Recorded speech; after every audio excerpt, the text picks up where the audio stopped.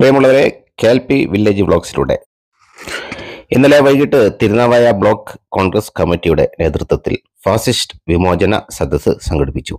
അതുമായി ബന്ധപ്പെട്ട ഗംഭീര പ്രഭാഷണമാണ് ഇവിടെയിൽ വീഡിയോയിൽ ഉൾപ്പെടുത്തിയിട്ടുള്ളത്. നമ്മുടെ രാജ്യം വർഗീയവൽക്കരിച്ചുകൊണ്ടിരിക്കുകയാണ് നമ്മുടെ രാജ്യത്തിന്റെ മതേതരത്തിന്റെ നാട്ടിൽ തകർത്തുകൊണ്ടിരിക്കുകയാണ്. നമ്മുടെ രാജ്യത്തിൽ ജനങ്ങൾക്ക് കിട്ടുന്ന ക്ഷേമ പെൻഷൻ പോലും നിഷേധിക്കപ്പെട്ടുകൊണ്ടിരിക്കുന്നു. അതുപോലെ വിലക്കയറ്റം കൊണ്ട് രൂക്ഷമായി കൊണ്ടിരി രൂക്ഷമായി ജീവിക്കാൻ പോലും പ്രയാസമുള്ള ആളുകൾ പൊതുവിതരണ കേന്ദ്രങ്ങളിൽ പോലും ഒരു സാധനവും ലഭ്യമല്ലാത്ത അവസ്ഥ.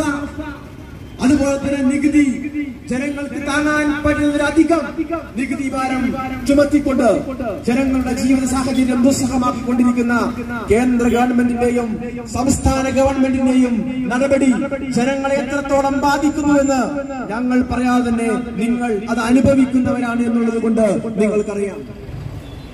ഞാൻ മനസ്സിലാക്കുന്നത് രണ്ടായിരത്തി ഇരുപത്തിരണ്ട് സെപ്റ്റംബർ മാസം ഏഴാം തീയതി. ഇന്ത്യയുടെ തെക്കുദേശമായ കന്യാകുമാരിയുടെ മണ്ണിൽ നിന്ന് സ്റ്റാലിന്റെ കൈകളിൽ നിന്ന് രാജ്യത്തിന്റെ ദേശീയ പതാക ഏറ്റുവാങ്ങി. ഈ രാജ്യം മുഴുവനും കാൽനടയായി കടന്നുപോയി നടന്ന് നടന്ന് നീങ്ങി. രണ്ടായിരത്തി ഇരുപത്തി മൂന്ന് ജനുവരി മാസം മുപ്പതാം തീയതി ജമ്മു കാശ്മീരിലെ മണ്ണിൽ സമാപനം സമാപനം കുറിച്ച ഭാരത് ജോഡോ യാത്രയ്ക്ക് ശ്രീ രാഹുൽ ഗാന്ധി നേതൃത്വം കൊടുക്കുന്നു. അറപ്പിന്റെയും വെറുപ്പിന്റെയും അസഹിഷ്ണുതയുടെയും രാഷ്ട്രീയം പറയുന്ന ഈ നാടിന്റെ ഏറ്റവും കുരുതിക്കളമാക്കുന്ന മതത്തിന്റെ പേരിൽ ജാതിയുടെ പേരിൽ വർഗത്തിന്റെ പേരിൽ വർണത്തിന്റെ പേരിൽ തമ്മിലടിപ്പിക്കുന്ന വൃത്തികെട്ട രാഷ്ട്രീയ സംവിധാനങ്ങൾക്കെതിരെയുള്ള പോരാട്ടത്തിന്റെ ഭാഗമായിട്ട് വെറുപ്പിന്റെ രാഷ്ട്രീയത്തിനെതിരെ സ്നേഹത്തിന്റെ കട തുറക്കാനായിട്ടായിരുന്നു ആ വെറുപ്പിന്റെ രാഷ്ട്രീയം അവിടെ സംഘപരിവാറുകാർ എങ്ങനെയാണോ നടപ്പിലാക്കുന്നത്? അതേ നടപ്പിലാക്കുന്ന രാഷ്ട്രീയ സംവിധാനവുമായി കേരളത്തിലെ കമ്മ്യൂണിസ്റ്റ് പ്രസ്ഥാനം ഈ നാട്ടിലെ മാർക്സിസ്റ്റ് ഗവൺമെന്റ് നടപ്പിലാക്കിക്കൊണ്ടിരിക്കുകയാണ്. അതിനൊരു മുഖ്യമന്ത്രി നേതൃത്വം കൊടുക്കുകയാണ്. തന്നോട് പ്രതികാരം വീട്ടുന്നതെന്നല്ല തന്റെ രാഷ്ട്രീയത്തിന്റെ പ്രതിഷേധം അറിയിക്കുന്നവനെ. ആ പ്രതിഷേധം അറിയിക്കുന്നവനെ പ്രതിയോഗികളായി കണ്ട് അവനോട് യാതൊരു രാഷ്ട്രീയപരമായ നാണവും മാനവും ഇല്ലാതെ പ്രതികാരം കിട്ടുന്ന ഒരു സൈക്കോപാത്തിന്റെ ഒരു മെന്റാലിറ്റിയിലൂടെ കേരളത്തിലെ മുഖ്യമന്ത്രി കടന്നു പോവുകയാണ്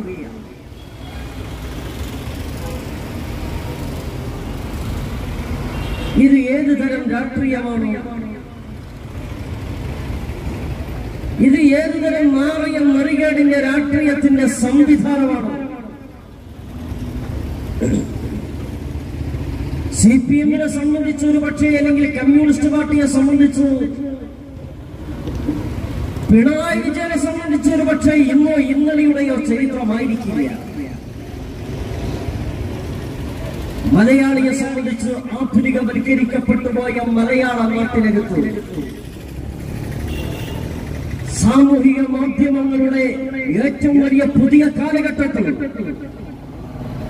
ഇതുപോലുള്ള നെറികേടിന്റെ രാഷ്ട്രീയങ്ങളെ എങ്ങനെയാണ് ഈ സമൂഹം തിരിച്ചറിയുന്നത് എന്നുപോലും നമ്മൾ അറിയുന്നുണ്ട്. നിങ്ങൾക്കെന്ന് രണ്ടായിരത്തി പന്ത്രണ്ട് ഫെബ്രുവരി മാസം ഇരുപതാം തീയതി കണ്ണൂർ ജില്ലയിലെ തളിപ്പറമ്പിലെ പട്ടുവത്ത ശുക്രൂറിന്റെ കൊലപാതകം പോലെ രണ്ടായിരത്തി പന്ത്രണ്ട് മെയ് മാസം നാലാം തീയതി വടകരയിലെ ഓർക്കാട്ടേരിയിലെ ടി പി ചന്ദ്രശേഖരന്റെ കൊലപാതകം പോലെ രണ്ടായിരത്തി പതിനേഴ് ഫെബ്രുവരി മാസം പന്ത്രണ്ടാം തീയതി ഇടയന്നൂരിലെ ഷുഹൈബിന്റെ കൊലപാതകം പോലെ രണ്ടായിരത്തി പതിനെട്ട് ഫെബ്രുവരി മാസം പതിനേഴാം തീയതി കാസർഗോഡ് ജില്ലയിലെ കല്ലേട്ടിലെ പെരിയയിലെ ഈ പറയുന്ന ഞങ്ങളുടെ കൃപേശിന്റെയും ശരത്തിനാരിന്റെയും കൊലപാതകം പോലെ മാസം മുപ്പതാം തീയതി. നിങ്ങളുടെ മലപ്പുറം ജില്ലയിലെ വെളിയങ്കോട്ട കോട്ട മോന്റെ കൊലപാതകം പോലെ. ആയിരത്തി തൊള്ളായിരത്തി അമ്പത്തി ഏഴ് കാലഘട്ടത്തിൽ കാസർഗോഡ് ജില്ലയിലെ ഉദുമയിലെ പള്ളിക്കര വേണുഗോപാലൻ നായരുടെ കൊലപാതകം പോലെ. ഒരുപക്ഷെ നിങ്ങളെ സംബന്ധിച്ച് രാഷ്ട്രീയ പ്രതിയോഗികളെ പ്രതികാരം വിട്ടാൽ ഏത് മാറിയ രാഷ്ട്രീയ സമീപനങ്ങളെടുക്കും നിങ്ങളുടെ മുഖമുദ്രയായിരിക്കാം. നിങ്ങളുടെ രാഷ്ട്രീയ തീരുമാനങ്ങളായിരിക്കാം. പക്ഷെ ഞങ്ങൾ ചോദിക്കുന്നു ഇന്ന് ആ രാഷ്ട്രീയ തീരുമാനങ്ങളിൽ നിങ്ങൾ ചില രാഷ്ട്രീയത്തിന്റെ നിറത്തിനപ്പുറമായി ഒരു സർക്കാരിന്റെ മുദ്ര പതിക്കുകയാണ്. ഇന്ന് നിങ്ങളെ കരിങ്കൊടി കാട്ടുന്നവരെ ക്രൂരമായി മർദ്ദിക്കാൻ നേതൃത്വം കൊടുക്കുന്നത് ഡിവൈഎഫ്ഐയുടെ ഗുണ്ടകളാണ് ഡിവൈഎഫ്ഐയുടെ ഗുണ്ടകളുടെ കൂടെ ആ ഡിവൈഎഫ്ഐ കാക്കപ്പോൾ കാക്കിധാരികളാണ് ആ കാക്കിധാരികൾക്കൊപ്പം ഈ പാമരന്മാരെ അടിച്ചു തകർക്കാൻ തലയടിച്ചു പൊട്ടിക്കാൻ നേതൃത്വം കൊടുക്കാൻ വിളംബരം കൊട്ടാൻ രംഗപ്രവേശനം ചെയ്യാൻ മുഖ്യമന്ത്രി പിണറായി വിജയന്റെ വീടിന്റെ ആകി പറയുന്ന എസ്കോട്ട് വാഹനത്തിന്റെ അകത്തളങ്ങളിൽ കിടക്കുന്ന കറുത്ത വസ്ത്രധാരികളാണ് എസ്കോട്ടിലിരിക്കുന്നവന്റെ കയ്യിൽ ഒരു മുഴം നീളം കിടക്കുന്ന ലാത്തിയാണ്. ആ ലാത്തി എടുത്തവന് പുറത്തേക്ക് കടന്നു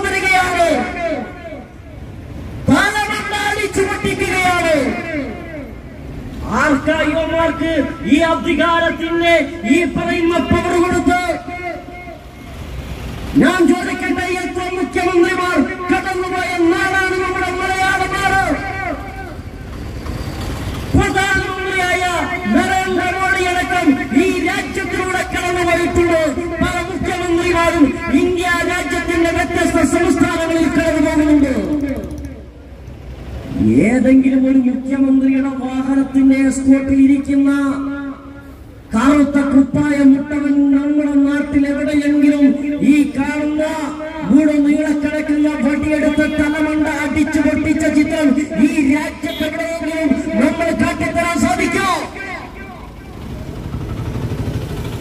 ഇവൻ ആരെയാണ് ഈ രാജ്യത്തിന്റെ ഭരണാധികാരി ആരെയാണ് പഠിക്കുന്നത് നരേന്ദ്രമോദിയെക്കാളും വലിയ ഒരു ഒരു ഗവൺമെന്റിന്റെ മുഖ്യമന്ത്രി മാറുക.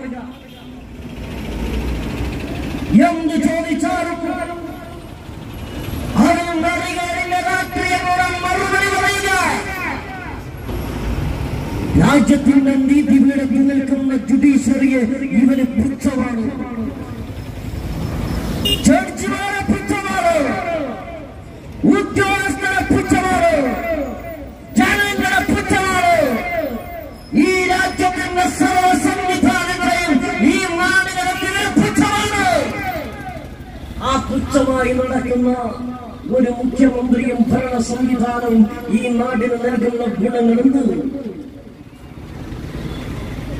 കണ്ണൂർ ജില്ലയിലെ ഈ കാണുന്ന കാസർഗോഡ് ജില്ലയുടെ കണ്ണൂർ ജില്ലയിൽ നിന്ന് ചുങ്കട്ടം ചുമരം വിട്ട് നിൽക്കുന്ന കല്യാശ്ശേരിയുടെ മണ്ണിൽ ആദ്യമായി ഇവർ തലമണ്ട അടിച്ചു കെട്ടിക്കാൻ ദീപയ്യപ്പയുടെ ഗുണ്ടകൾ രംഗപ്രവേശനം ചെയ്തു. അവന്റെ കയ്യിലിരിക്കുന്ന ഹെൽമെറ്റ് എടുത്ത് പൂച്ചട്ടി എടുത്ത് യൂത്ത് കോൺഗ്രസുകാരന്റെ തല അടിച്ചുകൊണ്ട് പൊട്ടിച്ചപ്പോ അത് ഉളുപ്പില്ലാതെ വന്നത് ജീവൻ രക്ഷാ പ്രവർത്തനമാണ് എന്ന് പറയാൻ നാണക്കേടോടുകൂടി ഈ മലയാള നാടിന് മുമ്പിൽ കടന്നു വന്നു പോകുന്നത് കേരളത്തിലെ മുഖ്യമന്ത്രി പിണറായി വിജയൻ. തന്റേതായ അംഗരക്ഷകമാര് കടന്നുപോയി തലയടിച്ചു പൊട്ടിച്ചപ്പോ അതിനെപ്പറ്റി പത്ര മാധ്യമങ്ങൾ ചോദിച്ചപ്പോ ഞാനത് കണ്ടിട്ടില്ല അറിഞ്ഞിട്ടില്ല എന്ന് നാങ്കട്ട് പറഞ്ഞ കേരളത്തിന്റെ മുഖ്യമന്ത്രി ശ്രീ പിണറായി വിജയൻ. രാജ്യത്തിന്റെ ജുഡീഷ്യറി കടന്നു വന്നുകൊണ്ട് നിങ്ങൾ ഏത് രാഷ്ട്രീയമാണ് പറയുന്നതെന്ന് ചോദിച്ചപ്പോ രാജ്യത്തിന്റെ ജഡ്ജിമാർ പലതും പറയും അത് എനിക്ക് കേൾക്കേണ്ട മനസ്സില്ല എന്ന് താക്ഷത്തോടെ പറഞ്ഞവൻ കേരളത്തിന്റെ മുഖ്യമന്ത്രി പിണറായി വിജയൻ. ഞാൻ ചോദിക്കുന്നു ഇവർ ഇപ്പോ ഏഴ് കൊല്ലക്കാലം കഴിഞ്ഞു മന്ത്രിസഭയുടെ അഴിച്ചുപണിയൊക്കെ ഇപ്പൊ നടന്നുകൊണ്ടിരുന്നു ഏറെ കൊല്ലക്കാലം കഴിഞ്ഞു. ഞാൻ ചോദിക്കട്ടെ എന്ത് വികസന പ്രവർത്തനമാണ് ഈ മലയാളികളുടെ മുന്നിൽ ഈ ഗവൺമെന്റിന് ഈ മുഖ്യമന്ത്രിക്ക് കാട്ടിക്കൊടുക്കാൻ സാധിക്കുക നിങ്ങൾ കാസർഗോഡ് മുതൽ തിരുവനന്തപുരം വരെ ഉണ്ടാക്കിയ വനിതാ മതിലിനെ പറ്റിയാണോ നിങ്ങൾക്ക് പറയാനുള്ളത്? നിങ്ങൾ ഈ പറയുന്ന നവകേരള സദസ്സിനെ സംബന്ധിച്ചാ പറയാനുള്ളത്? ഒന്നേ പോയിന്റ് പൂജ്യം അഞ്ച് കോടിയുടെ ഒരു ബസ് വാങ്ങി. ആ ബസ്സിന് കേരളത്തിലെ മന്ത്രിമാർ മുഴുവനും കയറി.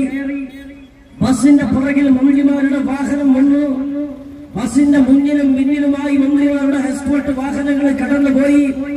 കോടികൾ ചെലവഴിച്ചുകൊണ്ട് ആ ബസ് ഇങ്ങനെ കടന്നു പോകുമ്പോ സഞ്ചരിക്കുന്ന മന്ത്രിസഭ എന്ന് പറഞ്ഞ ബസ്സിനെ കൊണ്ടുപോയി പൂജിച്ചു കൊണ്ടുപോയി മ്യൂസിയത്തിൽ കൊണ്ടുപോയി വെക്കണമെന്ന് മണിയടി പറയുന്ന ബാലന്റെ കമ്മ്യൂണിസ്റ്റ് പ്രസ്ഥാനത്തിനകത്ത് ഞങ്ങൾ ചോദിക്കുന്നു. നിങ്ങൾ ഈ നവകേരള സദസ് നടത്തിയിട്ട് ഈ മലയാളിക്ക് തന്ന സംഭാവന എന്ത്? മലയാളിക്ക് കിട്ടിയ കോപ്പെന്ത് എന്ന് മലയാളികൾ നിങ്ങളൊന്ന് പറയോ? കാസർഗോഡ് ജില്ലയിൽ ചില ആളുകൾ പരാതി കൊടുത്തു. ഇവന്റെ ഈ കാണുന്ന എന്ന രാവിലത്തെ കച്ചവടം രാവിലത്തെ കച്ചവടം ഇവർ കടന്നു വരും മന്ത്രിമാര് കടന്നു വരും അവന്റേതായ നാട്ടിലെ പൗരപ്രമുഖര് കടന്നു വരും ഇവന്റെ ഭാഷയിൽ പറഞ്ഞാൽ. യൂത്ത് കോൺഗ്രസിന്റെ ഒരു നേതാവ് എഴുതി കൊടുത്തു നിങ്ങൾ ഈ പറയുന്ന പൗരപ്രമുഖരാരിൽ നിങ്ങളൊന്ന് പറയുമ്പോ അതിന് വിവരാവകാശ പ്രകാരം കൊടുത്തപ്പോ ഇവന് മറുപടിയില്ല. ആരാണ് ഈ പൗരപ്രമുഖര് ഈ നാട്ടിലെ ഞാൻ ചോദിക്കുന്നു ഈ പുത്തന തന്നാടിയിലെ ഈ കാണുന്ന ഏതെങ്കിലും ഒരു പാമരനായ ഓട്ടോ തൊഴിലാളിയെ കൊണ്ടുപോയി അവന്റെ വിഷമങ്ങളെ കേൾക്കാൻ ഈ ഗവൺമെന്റ് തയ്യാറായിട്ടുണ്ടോ?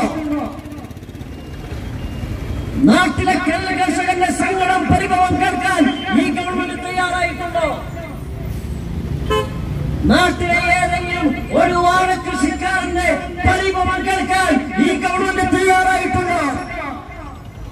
ഈ നാട്ടിലെ ചെറുകിട വ്യാപാരങ്ങളുണ്ട് ആ ചെറുകിട വ്യാപാര സ്ഥാപനങ്ങളിലെ ഏതെങ്കിലും പാർമരന്റെ ശബ്ദം കേൾക്കാൻ അവനുമായി കൂടിച്ചേരാൻ അവനുമായി പ്രഭാത ഭക്ഷണം കഴിക്കാൻ അവന്റെ സങ്കടങ്ങളെ കേൾക്കാൻ ഈ മുഖ്യമന്ത്രി തയ്യാറായിട്ടുണ്ടോ? പറയും പൗര പ്രമുഖരെയാണ് ഞാൻ വിളിച്ചതെന്ന് പറയും.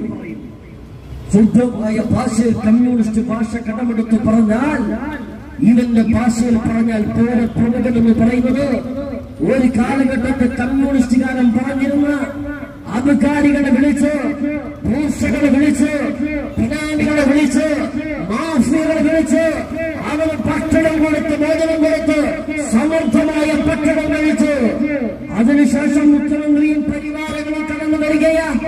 കടന്നു വന്ന് അങ്ങോട്ട് മാത്രം സംസാരിക്കുന്ന ഒരു റേഡിയോ പോലെ മുഖ്യമന്ത്രി കടന്നു വന്നുകൊണ്ട് കേരളത്തിന്റെ ജനങ്ങളോട് ചില കാര്യങ്ങൾ പറയുകയാണ്.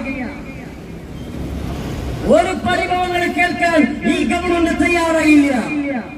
കാസർഗോഡ് ജില്ലയിൽ ഒരു പാമരം പരാതി കൊടുത്തു. എനിക്ക് വീടില്ല.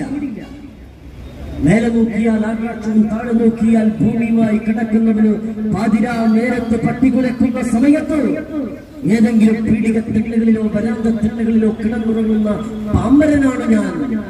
എനിക്ക് ഭവനം വേണമെന്ന് പറഞ്ഞപ്പോ ഇവന്റെ മറുപടി എന്തെന്നറിയോ നീ കൊണ്ടുപോയി ലൈഫ് ഭവന പദ്ധതിയിൽ കൊണ്ടുപോയി ഗ്രാമസഭയിൽ പറഞ്ഞ് ലൈഫ് ഭവന പദ്ധതിയിലൂടെ കടന്നു ഇവന്റെ നിർദ്ദേശ? സർക്കാരിന്റെ നിർദ്ദേശ? റേഷൻ കാർഡില്ല എന്നൊരു പാവനം കൊടുത്തു. അയാൾ വിചാരിച്ചു ഉമ്മൻചാണ്ടിയുടെ സർക്കാരൊക്കെ ഇവിടെ ജനസമ്പർക്ക പരിപാടി നടത്തിയപ്പോ റേഷൻ കാർഡ് ഇല്ല എന്ന് പറഞ്ഞതിന് പിറ്റേന്ന് റേഷൻ കാർഡ് എന്ന ഒരു കാര്യം ഉണ്ടായിരുന്നു. ആ കാലം വെച്ച് ഏതോ ഒരു കൊണ്ടുപോയി കൊടുത്തപ്പോ അവനോട് പറയാണ് നീ വേണമെങ്കിൽ പുതിയ റേഷൻ കാർഡിന് അപേക്ഷിച്ചു കൊടുത്തോ? അവൻ കൊടുക്കുന്ന മറുപടിയാ. ക്ഷേമ പെൻഷനില്ല എന്ന് പറയാ. പുതുതായി അപേക്ഷ കൊടുത്തു ഇവൻ പറയാ ഞാൻ ചോദിക്കട്ടെ എന്തിനാണ് പറയണം കാസർഗോഡ് കണ്ണൂർ ജില്ലയിലുള്ള പാമരന്മാരുടെ കഥ പോക്കട്ടെ?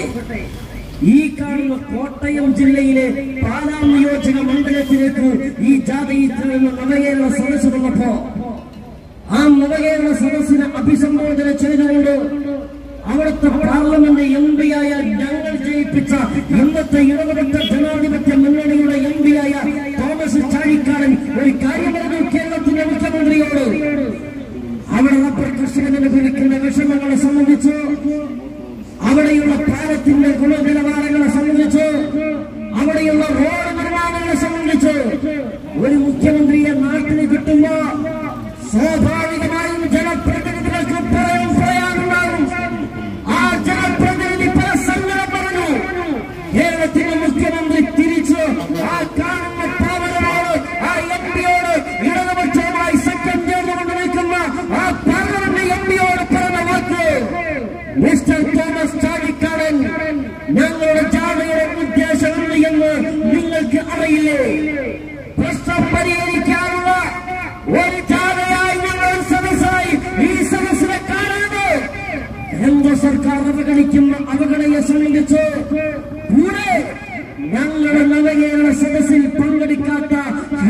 എഫിന്റെ പ്രതിപക്ഷ സംവിധാനങ്ങളെ സംബന്ധിച്ച് അങ്ങോട്ട് സംസാരിക്കാനുള്ള റേഡിയോ പോരാണ് ഞങ്ങൾ വന്നതെന്ന് ഒരു മുഖ്യമന്ത്രി കടന്നുവെന്ന് പറയേണ്ട ഗതികേടുമെന്ന സംസ്ഥാനമായി ഈ കേരളം മാറുകയാണ്. ആർക്ക് വേണ്ടിയാണോ നിങ്ങൾ ഭരിക്കുന്നത്? ആർക്ക് വേണ്ടിയാണ് ഈ ഗവൺമെന്റ് കൈയാളുന്നത്? ഒരു പാമരന് വേണ്ടി നിങ്ങൾ ഭരിക്കുന്നില്ല. ഞാൻ ചോദിക്കട്ടെ നിങ്ങൾ ഏഴര കൊല്ലക്കാലം പിന്നിടുകയാ? ഞാനിവിടെ സംസാരിക്കുമ്പോൾ നിങ്ങൾ ഓർക്കണം. ഈ കാണുന്ന ഈ കാണുന്ന മൈക്കിലൂടെ പ്രവഹിക്കുന്ന വൈദ്യുതി ഉണ്ടല്ലോ ആ വൈദ്യുതിക്ക് ഈ രാജ്യത്തിനകത്ത് വില കൂട്ടിയ ഗവൺമെന്റ് മുഖ്യമന്ത്രി പിണറായി വിജയന്റെ സർക്കാർ ഇനിയും വില സർക്കാർ പിണറായി സർക്കാർ. കുടിക്കുന്ന കുടിവെള്ളത്തിന് വെള്ളക്കരം കുട്ടിയ സർക്കാർ പിണറായി വിജയന്റെ സർക്കാർ. കെട്ടിട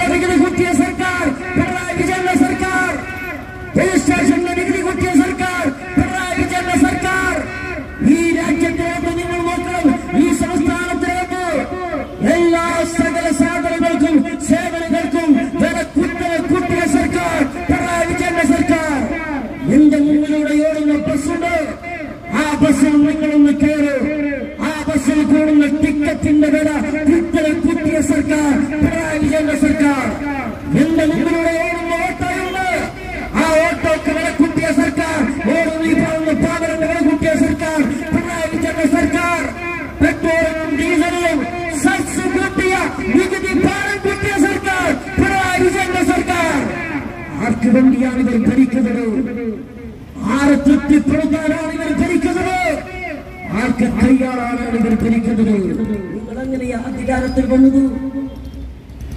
സി പി ഐ എം അധികാരത്തിന്റെ സ്വഭാവത്തിലേക്ക് വന്നത് എങ്ങനെയാ? ഇനി വില കൂടില്ല. വില കൂടില്ല എന്നും പറഞ്ഞ് അധികാരത്തിന്റെ സ്വഭാവത്തിലേക്ക് കടന്നു വന്ന നിങ്ങൾ ഞാൻ ചോദിക്കുന്നു ഇന്ന് നാട്ടിന്റെ മാർക്കറ്റിൽ കയറി ഒരു കാലഘട്ടത്തിൽ പച്ചരിയും വട്ട അരിയും ഈ രാജ്യത്തിന്റെ എല്ലാ സകല സാധനങ്ങൾക്കും സേവനങ്ങൾക്കും ഇന്നത്തെ വില എന്തയാ? നിങ്ങൾ പരിശോധിക്കൂ. എന്തിനാ പറയാം പൊതുവിപണികളിൽ വിലക്കയറ്റം കൂടുമ്പോ? ആ പൊതുവിപണിയിലെ വിലക്കയറ്റത്തെ നിയന്ത്രിക്കാനുള്ളതാണ് ഈ രാജ്യത്തിലെ സപ്ലൈകോ മാർക്കറ്റുകൾ ആ സപ്ലൈകോ മാർക്കറ്റിലെ ആവശ്യം വരുന്ന പതിമൂന്ന് ആവശ്യ സാധന സേവനങ്ങൾക്ക് യാതൊരു